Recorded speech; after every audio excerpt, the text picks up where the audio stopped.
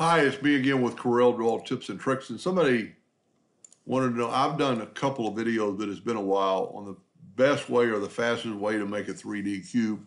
And you can do this several different ways, but one of the, probably the easiest way to do it is to take your polygon tool, set it on six sides, holding down the control button, make a make perfect polygon, hit P, that doesn't really matter.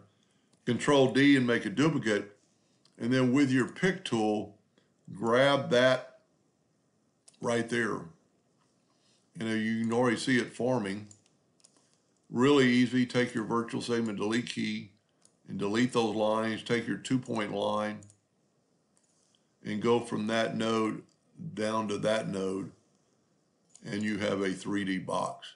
And you could do a lot with it. You could, it's all hairline. You could make it black in like 75 point scale with object.